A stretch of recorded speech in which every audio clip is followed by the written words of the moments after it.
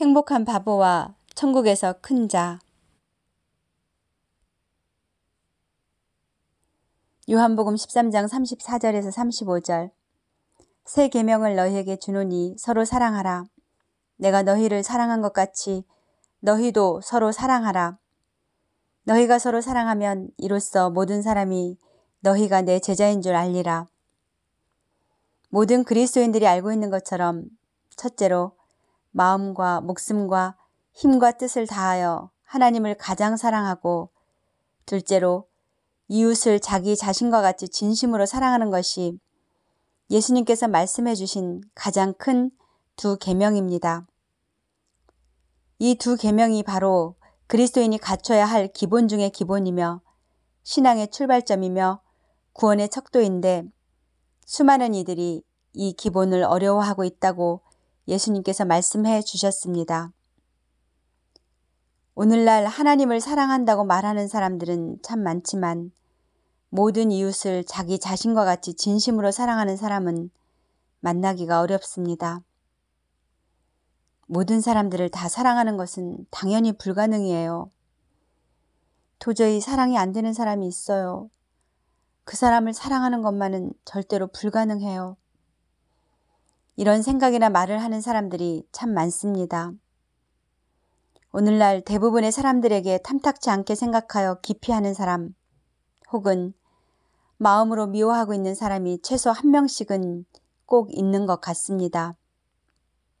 어떤 이들은 나는 하나님을 사랑하고 하나님께 무엇이든 순종하는 사람이다 라고 말하면서 주변인들 중 어떤 부분에서 자기보다 조금이라도 나아 보이는 사람이 있으면 시기 질투를 하고 자신의 마음에 들지 않는 사람들에게는 악하게 대하여 미워하며 눈을 흘기고 뒤에서는 험담하고 비난합니다.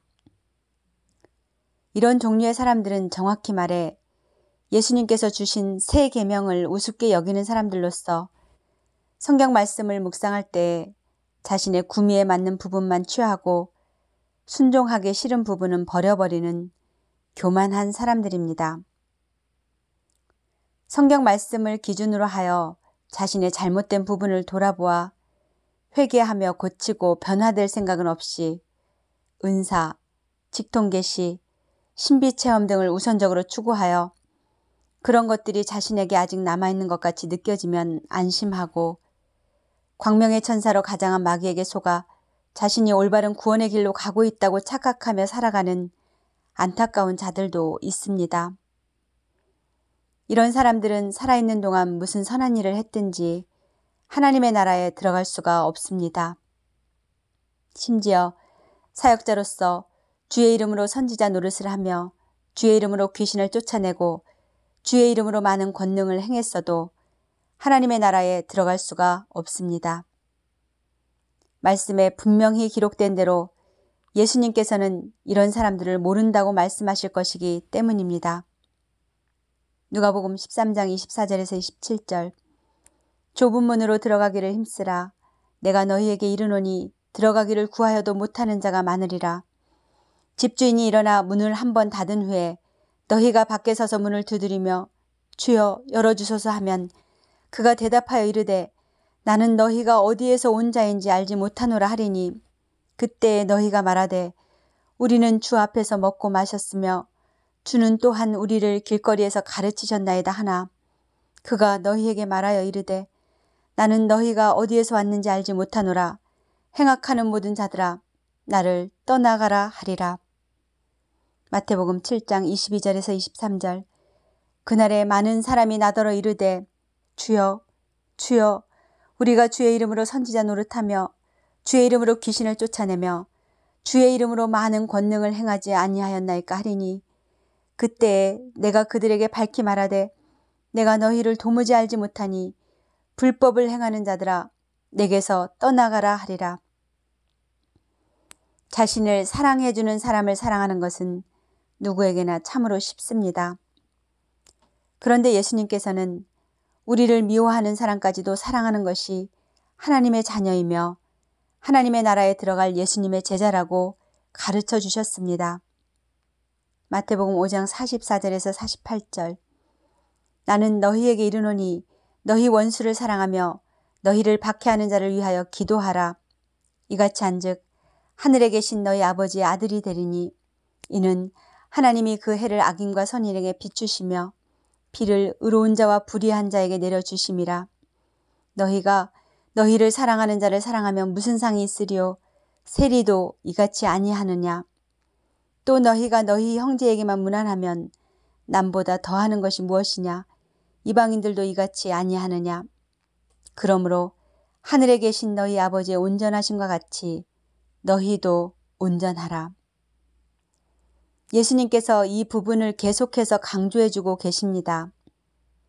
가장 큰 계명이면서 가장 기본적인 것이며 하나님의 성품인 사랑이 우리 안에 온전히 이루어져야만 앞으로 하나님 앞에 서는 그날 담대하게 설 수 있다고도 설명해 주셨습니다. 헤아리기도 힘든 수많은 이들이 이 부분 때문에 마지막 그날 땅을 치며 이를 갈게 될 것입니다. 부디 저와 여러분들은 우리를 사랑해 주시는 예수님께서 미리 알려주신 구원의 길인 사랑의 교훈을 마음 깊이 새겨 하나님을 위해서라면 목숨까지도 즐겁게 내어드릴 가장 큰 사랑을 먼저 품고 도저히 사랑하지 못할 사랑까지도 사랑하는 온전한 사랑도 마음에 이루어 예수님의 참된 제자로서 생명의 길을 걸어가십시다.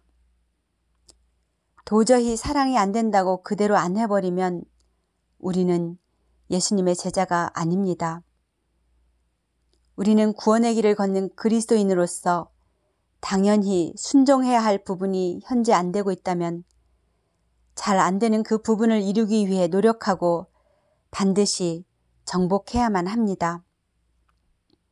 안 되고 있는 상태로 시간이 지나도 계속 머물러 있다면 머물러 있으면서도 급한 마음이 전혀 들지 않는다면 우리는 예수님과 아무런 관계가 없는 사람들입니다.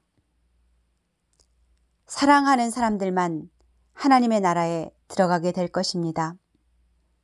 히브리서 12장 14절 모든 사람과 더불어 화평함과 거룩함을 따르라. 이것이 없이는 아무도 주를 보지 못하리라.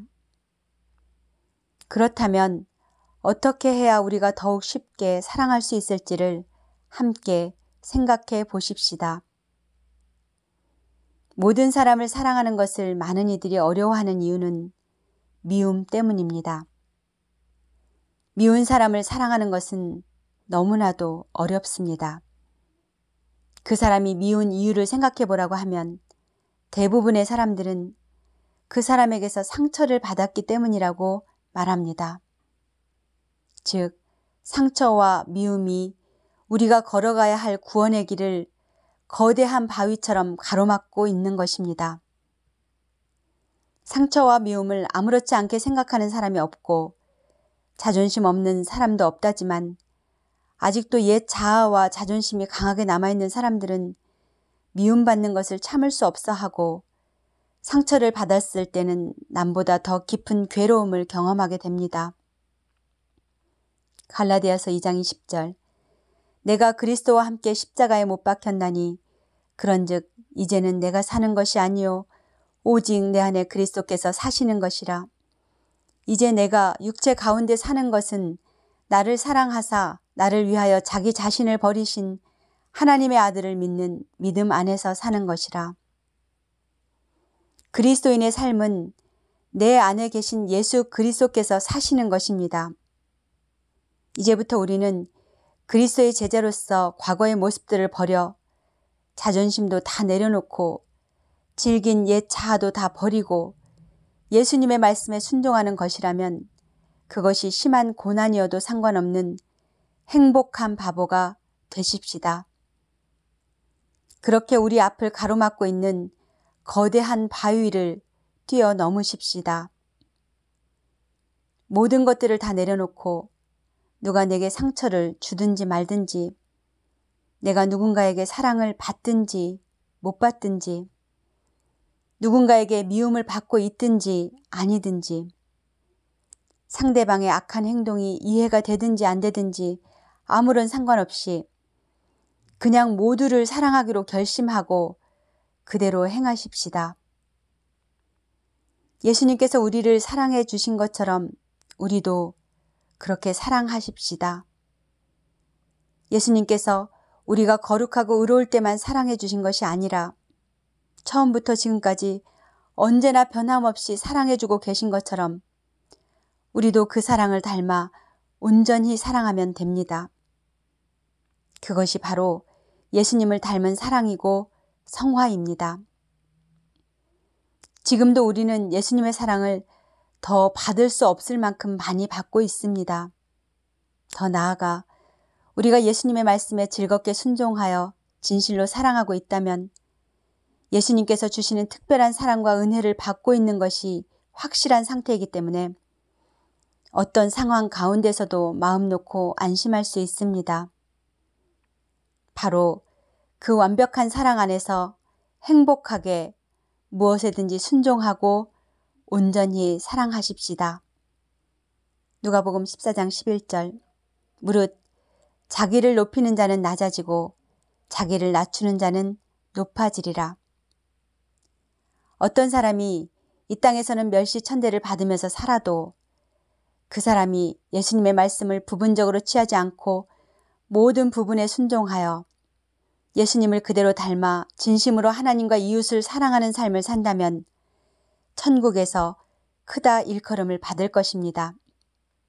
반대로 지극히 교만하여 스스로의 모습은 전혀 돌아보지 못하고 다른 사람의 허점만 드러내며 자신이 누군가를 미워하면서 잘못된 행동을 했어도 절대로 사과는 하지 않으며 많은 사람들을 실족시키는 나쁜 행동을 한 후에도 사람들에게 해명도 하지 않고 밝게 웃으며 자기만 기분 좋으면 그만인 모습. 나는 회개했으니까 떳떳해. 난 의로워. 하는 교만한 모습으로 살아가는 사람들은 천국에 들어가지 못하거나 만에 하나 들어가게 되더라도 지극히 낮은 자리에 머물게 될 것입니다.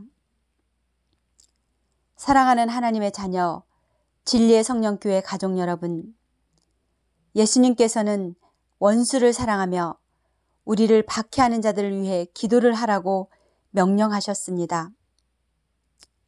그 원수 같은 상대를 이제는 사랑해 보려고 그 사람을 이해하려고 하면 오히려 아예 사랑할 수가 없거나 사랑하기가 더 어려워집니다. 우리가 보기에 원수 같은 그 사람의 말과 행동이 이상해 보이고 도무지 이해가 안 가도 이해하고 나서 사랑하려는 시도를 하지 말고 그 사람 모습 그대로 받아들여 보십시다. 그러면 사랑이 좀 더 수월합니다. 그 사람은 그 사람의 길을 걷는 것입니다. 사람이 어떻게 바꿔줄 수가 없습니다. 예수님께서 원수를 위하여 기도하라고 말씀하신 것처럼 우리는 그저 묵묵히 그 사람을 위해 기도하면 됩니다. 그리고 예수님께서는 그 사람도 현재 사랑하고 계십니다. 이렇게 생각하면 좀 더 쉬워집니다. 도저히 그리스도인이라고 생각되지 않는 혹은 악하거나 이해할 수 없는 말과 행동을 하는 그 사람들을 이해하려 하지 말고 우리는 그냥 그 사람의 영혼을 사랑하면 됩니다. 그런 사람이 나를 미워해도 상관없습니다. 배신해도 괜찮습니다. 욕을 해도 아무렇지 않습니다. 우리는 다른 사람으로부터 사랑과 인정을 받으려고 사는 존재가 아니라 예수님을 기쁘시게 해드리기 위해 살아가는 존재들이기 때문에 괜찮은 것입니다. 우리는 예수님의 사랑을 듬뿍 받고 있는 예수님의 제자들이라는 사실이 확실하기 때문에 누가 뭐라고 해도 아무 상관이 없는 것입니다.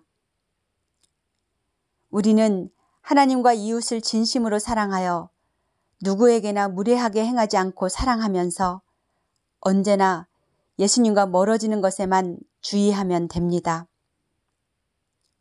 원수와 같은 사람을 이해한 뒤에 용서하고 사랑하려고 하지 말고 예수님께서 저와 여러분들을 그냥 사랑해 주신 것처럼 그냥 용서하고 그냥 사랑하는 것이 지름길이라는 사실입니다. 그게 되나 싶지만 됩니다. 예수님께서 말씀해 주신 것처럼 쉽고 가볍습니다. 우리의 사랑하는 마음과 행동으로 예수님께서 기뻐하실 것입니다. 예수님께서 많이 기쁘시다면 우리가 못해드릴 것이 무엇이겠습니까? 사랑하지 않는 사람들은 자신이 선택한 인생을 사는 것이고 우리는 우리가 선택한 인생을 사십시다. 교만하고 악한 사람들 때문에 우리의 영원한 생명까지 위협을 받아서야 되겠습니까? 우리는 안전하게 끝까지 생명의 길을 걸어가십시다. 가장 사랑이 안 되는 그 사람을 마음으로 사랑하는 것이 저와 여러분들의 마지막 숙제이며 구원의 척도가 될 것입니다. 어렵다고만 생각지 마시고 부디 예수님 앞에 나가셔서 모든 짐을 다 내려놓고 홀가분한 마음으로 억지로가 아닌 기쁨과 즐거움으로 온전히 순종하여 예수님을 기쁘시게 해드리며 구원으로 향하시기를 진심으로 바랍니다. 오늘 하나님께서 우리에게 주신 말씀을 마음 깊이 새겨 세상 그 무엇보다도 하나님을 가장 사랑하여 하나님을 위해서라면 무엇이든지 할 수 있고 무엇이든지 버릴 수 있고 목숨까지도 기쁘게 드릴 수 있는 가장 큰 사랑을 마음에 품고 그 사랑을 바탕으로 이웃들도 우리 자신과 같이 사랑하여 원수 같은 사람들을 위해서도 중보 기도를 할 수 있는 진실한 사랑으로 예수님의 참된 제자가 되어 머지않아 하나님 앞에 서게 되는 그날 활짝 웃으며 하나님의 품에 안기는 저와 여러분들이 되기를 예수님의 이름으로 축복합니다. 마태복음 5장 19절 그러므로 누구든지 이 계명 중에 지극히 작은 것 하나라도 버리고 또 그같이 사람을 가르치는 자는 천국에서 지극히 작다 일컬음을 받을 것이요 누구든지 이를 행하며 가르치는 자는 천국에서 크다 일컬음을 받으리라. 아멘.